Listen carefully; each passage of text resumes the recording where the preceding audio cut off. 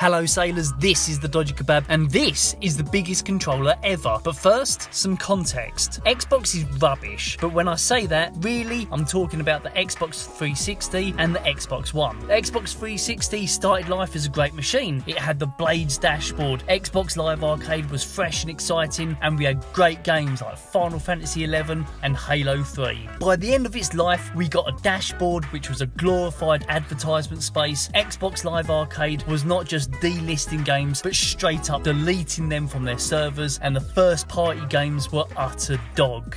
The Xbox One has been an utter disaster from beginning to end. First, gamers were told to hashtag deal with it when everyone found out Microsoft wanted to make their machine always online and not accept used games. Then, they were forced to have a spying device attached at all times. They had an exclusive game lineup so thin Coldplay were going to do a benefit concert for it. And all of this was orchestrated by a guy who looks like a used car salesman.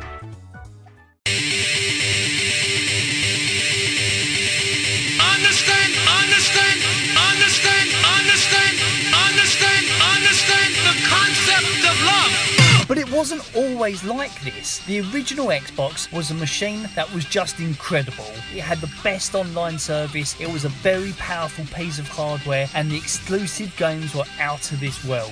Jet Set Radio Future, Amped, Dead or Alive 3, Halo 2, Ninja Gaiden, Project Gotham Racing. These were all great reasons to own an original Xbox. But one game's release was so special because it defied all logic. Steel Battalion from Capcom, a mech simulator which cost £250 because the extravagant controller it came with. Who loves mech games? The Japanese. Who wouldn't buy an Xbox even if it came with a free love pillow?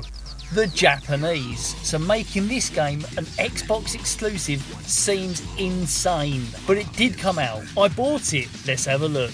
So when this monster was shipped to me, this huge cardboard box turns up. A closer inspection actually shows that even this shipping box has the Steel Battalion logo on it. Once you open the shipping box, you can remove the actual game box, which is this green military style case. Made to look like a metal container, but it's still cardboard. This thing is quite a lump, but comes with a green plastic handle, which is prone to snapping, so don't carry it with that. The manual that shows you how to use the controller is an entire book. To get anywhere in this game, you will need to read this thing to really understand how to pilot the mechs properly and actually use the 44 different buttons on the controller, which is officially called the Mega Jockey 9000. That is an incredible name. Next, you have to unpack the Mega Jockey 9000 controller, which comes in three sections, plus the pedals. On the back of the center controller section, there is an Allen key and the names of the Steel Battalion team. You use the provided Allen key with the provided bolts to secure the three sections together, making sure you link these ribbon cables while you do that. Once you've done that, plug the pedals into the controller, hook it up to your Xbox, and this is your reward. This is basically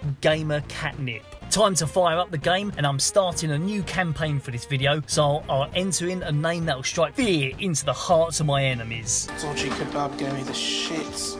With my name decided, the game starts to play the introduction sequence. Now, Capcom charged a lot of money for this game, and it seems like a lot of that cost is due to the Mega Jockey 9000, because it sure as hell didn't go into production costs for this intro. will be the best there is.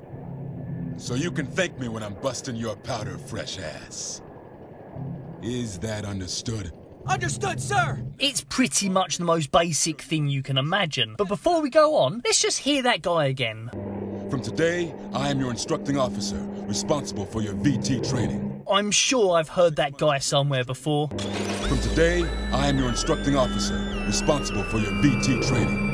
In the following six months of rigorous training, It's Professor K from Jet Set Radio. We're transmitting our signal straight to you. Y'all got your antennas on or what?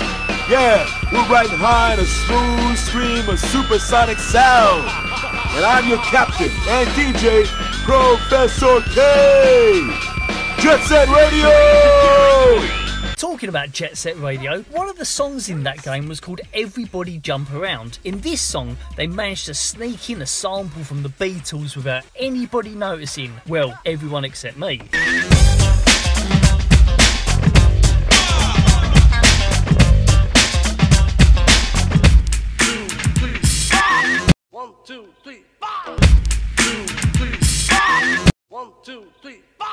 Getting well off track, so let's steer this back to Steel Battalion. So after a few minutes of intro that shows you that you're a new recruit mech pilot about to start your training, just as the base you're in gets attacked, you decide that you can pilot a mech with literally zero training and just jump in. Then you're greeted by the view of inside the mech. So now you begin the game. In most games, you just press the accelerator or the thumbstick and off you go. But Steel Battalion isn't some baby's first video game. Let's just walk through what you have to do to even get moving. One, to start off with, you're going to have to close the cockpit hatch. So press the cockpit hatch button. Two, you need to press the ignition to turn the mech on. Three, once the mech is online, you have to turn on all five of the primary systems. Four, you now have a series of power levels. Once they're all over 75%, you can hit the start button to begin driving your mech. So Steel Battalion isn't fucking around. You've got to do all of this before you can even move in the game. But once you can move, the game hits you with this.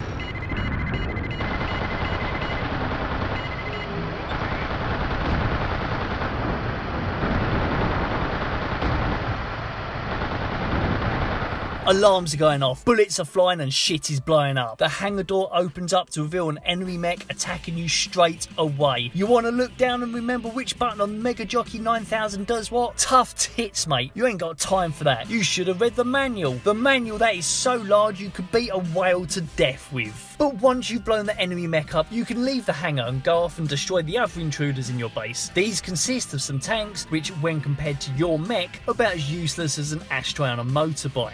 There is one other mech you need to take care of in this level, and once you have, the game cuts to a shot of your victory.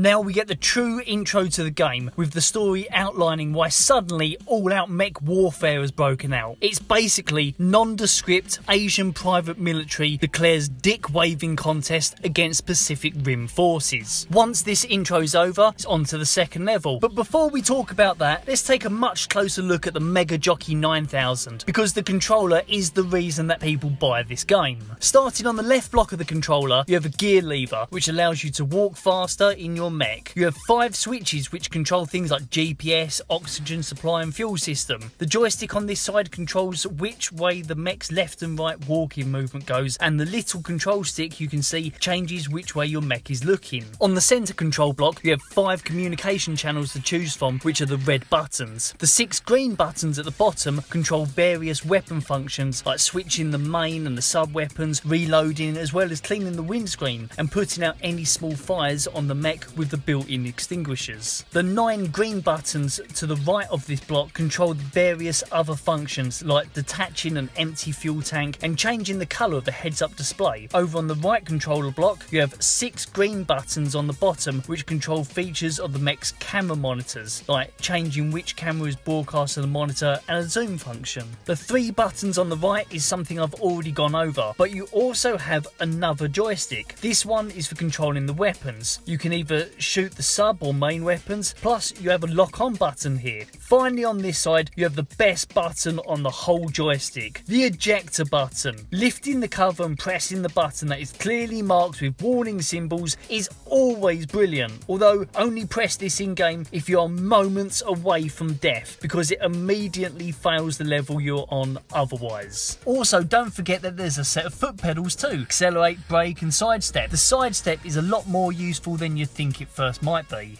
Anyway, back to the game and let's have a look at the second level. And there's a slight difficulty spike here. You have level 1's difficulty here, then if we zoom out a little, a little more, little bit more, there it is, that's the difficulty of level 2. You need to destroy 70% of the enemies on the shore.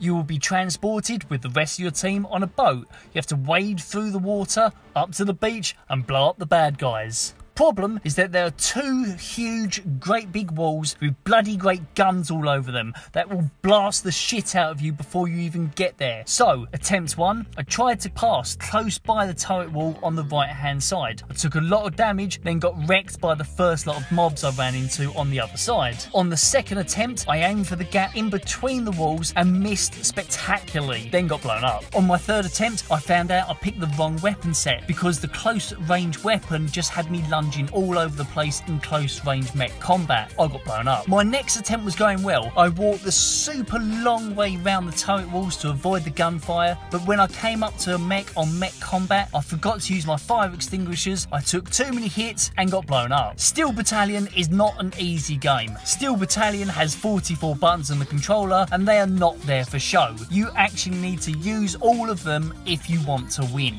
There is another Steel Battalion game though. Not this. This pisses over the good name of Steel Battalion and can fucking do one.